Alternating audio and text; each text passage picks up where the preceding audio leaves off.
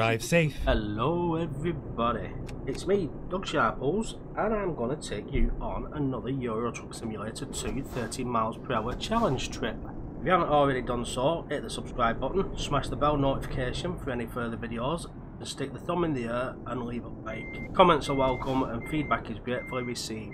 I'll try and answer all your comments. So I picked this trailer and it's full of empty barrels from Libelula, which is in Timisoara in Romania. Uh, we all know that um, some of the Eastern Europeans do like a drink, and all these are empty alcohol barrels, all from the same place, but it must be very popular at the weekends. And I'm going to be transporting them to DSV in Alba-Iulia, where they're going to be recycled and made into a boat. But it's a total journey of 128 miles, uh, once we drop the trailer at our destination, we're going to be paid a grand fee of £2,837 in cold hard cash. For all donations from these firms are welcome to our ever expanding coffers of buggy transport. And this is at least until we buy our new truck Get and we ready have to, to start turn again right. because we'll be skint. Turn right.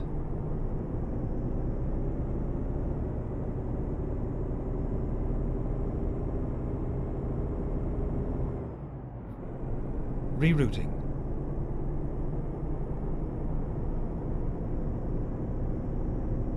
So once again, I'm going to abuse this truck, which has been loaned to me, and and I've found another Scania dealer. What we're driving today is a Volvo FH16 6x4, 12-speed gearbox, and a mighty 750 horses under the hood. And it's a beautiful truck on the inside and out. So I was asked a question why I was doing the 30 mile an hour challenge. Get ready to turn And right. the aim of the challenge is to test myself on whether I can, when the opportunity arises, to see if I can do some long haul Turn jobs right. whilst travelling at 30 mile an hour and still get to them on time. I've still got the sleep mode on and I have to have the brakes when told to do so. And if I find that I'm constantly late to jobs, then I will have to either A, turn the need for brakes off and just be able to continually drive, or B, increase the speed in 5 mile an hour increments until the jobs have become so tight it will be a hit or miss whether I arrive on time. Whereas on the short haul deliveries like these that I'm doing now, it's a, a challenge but it's a small challenge. I can normally arrive on time because there's normally no need for me to take any rest. But once the deliveries are more than 500 miles in distance, for instance, that is where the real challenge starts and the real test will start beginning because I can only at 30 miles an hour right. on a 10 hours it's a 300 mile trip or then I take the 9 hour break or whatever it is 10 hour break which puts 10 hours onto the journey but every time Turn driver right. will level up skill point attained goes on to the delivery distance now I know it's only 6 six points but I've concentrated on the ADR moment. On the ADR so what I've been doing is I've been concentrating on the ADR element the chemicals and ignore the, contain- the tankers. So I'm hoping that goes somewhere to a little explanation of what my challenge is. So what's been going on recently? Well on the 25th of September Truckers MP did a live stream with an important announcement and that was that after the next ETS2 DLC map, they will be incorporating ProMods version 2.42 onto the multiplayer platform. And I find this this is going to be great news because it'll greatly enhance the multiplayer gameplay. And this should happen after SCS will release the Road to the Black Sea, which I'll purchase as soon as it's released. And then ProMods will take around a week or two to upgrade their maps and their sceneries. And once that's done, then Truckers MP should be working to incorporate the map onto their servers. So, exciting times ahead in the world of truck simming. SCS also revealed that on 26th of September they are releasing the Renault T series as a free Keep edition. right. And then You exit just right. update your game on Steam and it will automatically be downloaded. And once downloaded, the T series will Exit be right. available to buy at Renault dealers and consist of two cabs, six chassis, six engines, seven transmissions, five interiors, and loads of accessories. Couldn't tell you anything else other than whatever, but I am sure that all you Renault buffs and Renault lovers, and this will be your primary truck at your first opportunity. But I must admit, looking at the screenshots, it does look like a very nice truck. I may even test it out myself at one point. I'm not a great lover of Renault trucks, but it does look really nice. And I must also add that SCS added some screenshots of the Turkish cities on the newest DLC, The Road to the Black Sea. I must say that I'm really impressed. If the rest of the cities are this good graphically, then this DLC is an absolute must for all you trucking enthusiasts.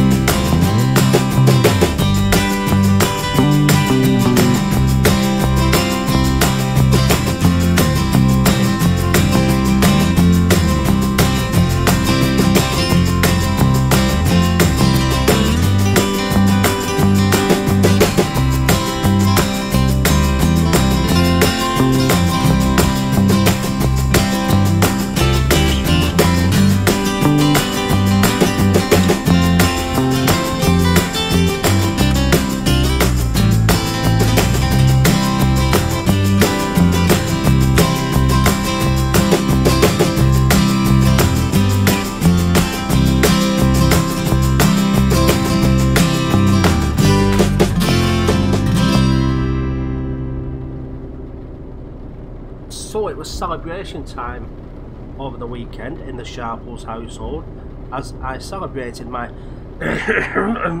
birthday on Saturday the 28th and I was pleasantly surprised when the missus apologised to me and told me that my birthday present won't be arriving until Monday. I already knew what was coming because I told her that I wanted a steering wheel which is the Logitech G920 so I can play it with my Xbox One as well because at this moment in time I play all my driving games with a joystick. I've got the Thrustmaster Hotas X which is a good bit of kit but now I can just concentrate using that on my flight simulators. But was a quiet day as I don't drink alcohol so we just had a chilled out day. And then she cooked me the most succulent T-bone steak it was 16 ounces and it was just done to perfection. Because my I like mistakes and it's still after me I, I like them raw. On Monday I was waiting impatiently for my steering wheel to arrive, which it does, with the six shifter gear stick as well, but unfortunately I couldn't open the boxes because I had to be somewhere else. So on Tuesday I dropped my daughter off at school in eager anticipation of what awaited me when I got home. So as a thank you for Mrs. Black's breakfast, no big surprise, but then came the unboxing. The door an old phone that seems extremely old fashioned. The first time it comes with a gear stick, nice and sturdy, felt like a gear stick is in the car. One day forward, it had 10 millimeter temple class PC desk. The unit went out onto my desk. I thought, no problem, I'm sure I can get some spacers and, you know, or make some wedges from some styrofoam that I probably have knocking about around the house. Couldn't find any. That's alright. So oh, I'll unbox the steering wheel and the pedals. Now, I know I'll have a problem because my PC desk, even though it's got my two monitors on it and I've got one at the side, it has a centerpiece that runs straight through the middle on a stand at the bottom. So I knew my pedals won't go straight underneath my desk. and it's the same distance from where the stand finishes to the edge of my desk. or the pedals and my steering wheel are at the same distance. or I'd end up in my chair with the distance away but I'd be leaning forward into my desk to steer which would make it really uncomfortable and bad for my back. But that's not the big that weren't the biggest problem because the steering wheel fitted onto the desk because it has spaces with it anyway. Uh, the cable management was good because it all fitted behind my desk. Biggest problem came when I tried to get ETS2 to work with my steering wheel and it wouldn't recognise it. So after about three or four hours of faffing about and going onto the Logitech site looking for updated versions of drivers and updated firmware, couldn't find any. But it ended up me going onto YouTube watching some guy decent enough English to show me how to get the drivers. But the problem was all his PC um, settings and everything were in Spanish. Don't speak Spanish. So bingo. What I had to do was delete what it had already recognised without the drivers, plug it back into the USB 3.0 and download the drivers. I got onto S2 and the. So I want to thank you your opinion. I'm very happy with the product. I'm not happy that the uh, firmware bit. I'm all set I'm still unable to use it because of my desk and my squeaky chair. That's my squeaky chair. So next up is a new desk and another chair and I've been stalking eBay for a racing seat. Not, they're all overpriced. Uh, the reason I need a new desk, it's got to be a two-tiered desk because I can't wall mount my monitors because plasterboard wall it won't hold the weight of them. Especially if I have um, the stanchion, you know, the um, where I can connect two monitors to it. It won't hold the weight. So now I've got to rearrange my office Keep left, to accommodate and then continue straight on. purchase of a Go straight on.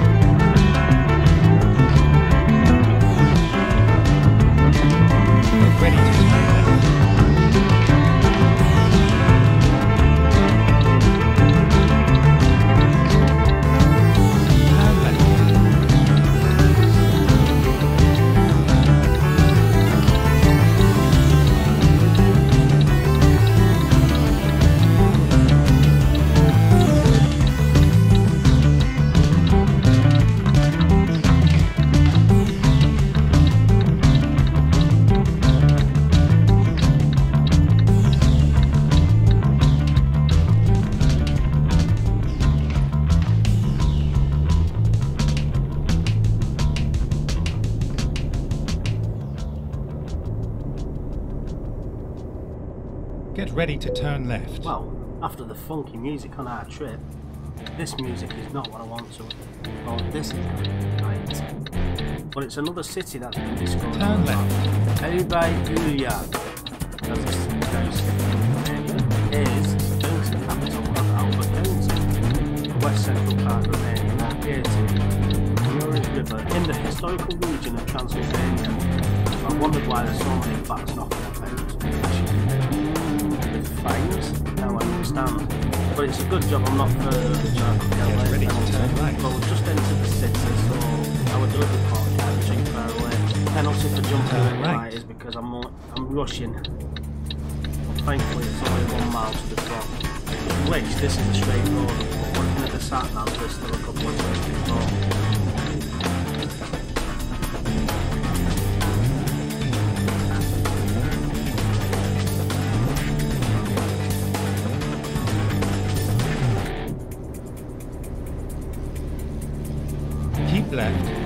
then turn left.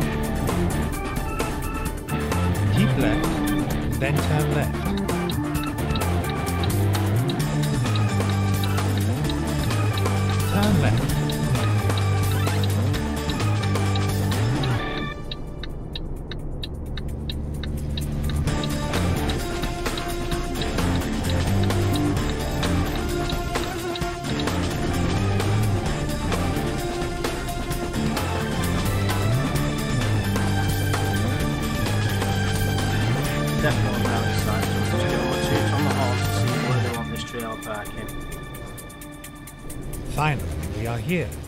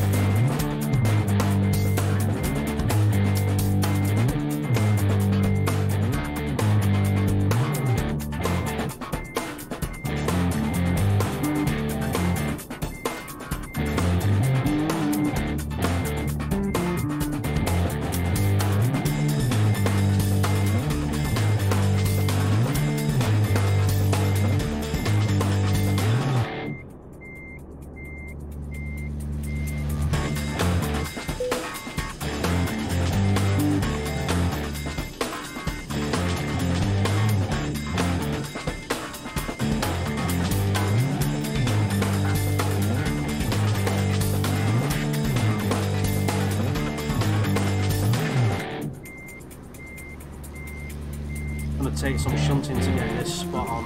Uh, I need to be as close to those containers as I possibly can get.